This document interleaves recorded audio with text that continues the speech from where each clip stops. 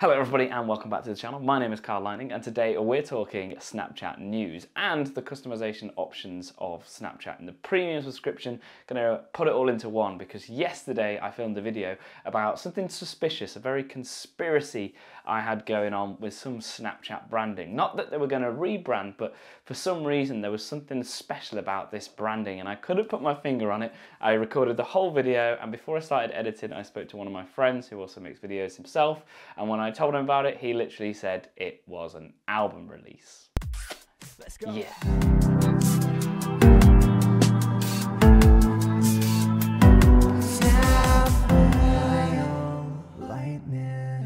So hello everybody and welcome. My name, as I said in the introduction, is Kyle Lightning and today we're talking about some news in Snapchat and also some customization options. If you're not part of the subscription, might just show you a feature that you may or may want to subscribe for if you love Snapchat as much as I do. And I'm going to just change the lighting to match that green that I talked about, or the logo that we're going to talk about in today's episode. So, this logo here apparently is an album that is releasing very soon, and Snapchat were doing it as a promotion, as an icon. And the colors for this also matched in the color section. So, these menus here were very questionable. I didn't understand why that the primary Snapchat color had this new color next to it, and I was thrown in a conspiracy that something that Snapchat were testing would have come out.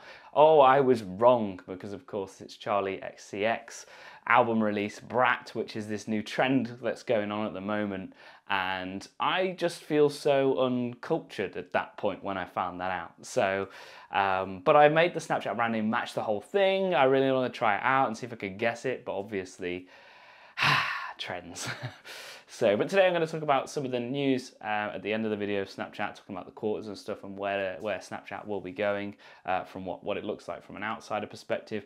But firstly, let's talk about some of the customization options in the plus menu. I think this is really interesting. This is something that I like to jazz up. The fact that we can do this really goes against Snapchat's cool yellow and black branding, but it gives you the control for being a subscriber. So I think it's brilliant. I think it's a great way to to uh, offer your fans something really unique to the Snapchat experience if, of course, you're a Plus subscriber.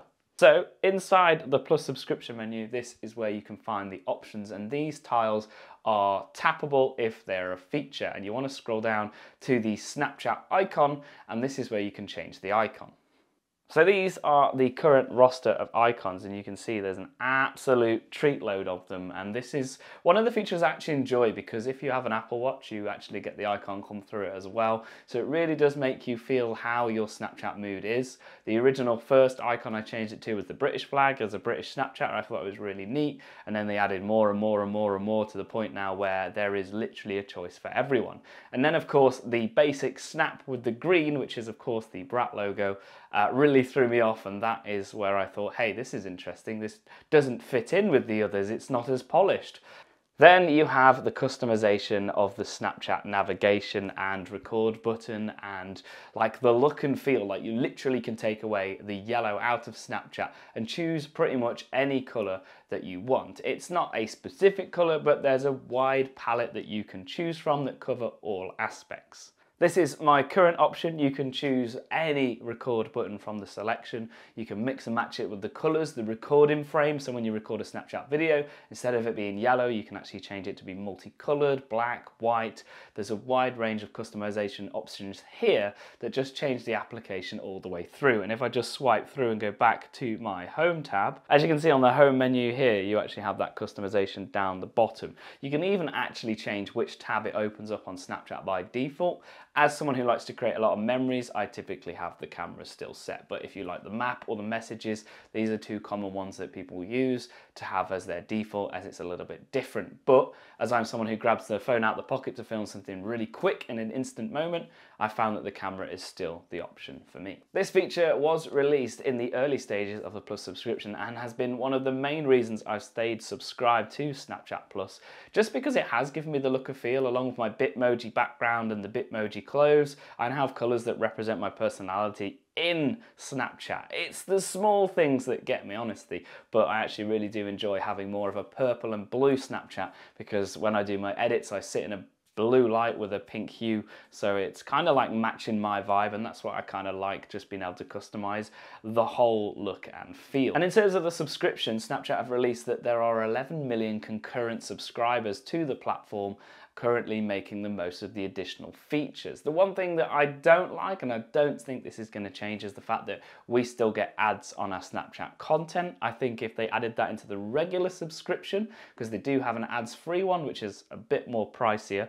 and not part of the family plan. But if you were to get rid of those ads, I feel like I would spend more time watching the content on the application because I feel like the ads on Snapchat are a bit intrusive. They break up the content to the point where I'm actually ready to leave the app and find some more content on maybe TikTok and Instagram. Certainly not X though, and as I was talking about a rebrand in the previous video, I mentioned that actually the X rebranding from Twitter to X, I still don't think has had the same impact. I believe Elon killed off some of the strongest branding in the world from the word tweet, which if I said, I'm just going to tweet about this, you know where to look, my Twitter. But if I say I'm going to post about this, to me, it's a bit flat. But not going against Elon, he's got his vision, he's brought AI into the world of X, but I feel like there's a lot of people that don't use X now, I was going to say Twitter, as it's so natural, uh, don't use X as well as they used to, especially in the business sector, as a lot of them have moved over to LinkedIn. If we think back to 2018, 2019, the years I would say Snapchat was at its quietest, in comparison to now in 2024, Snapchat is extremely lively to the point where most people, I would say, post on Snapchat for those story moments instead of Instagram. There seems to be a big shift in the last couple of years. You know, that was Snapchat's aim to do so. So it's exciting to see the yellow borders, or of course, if you've customized it, the color of your choice.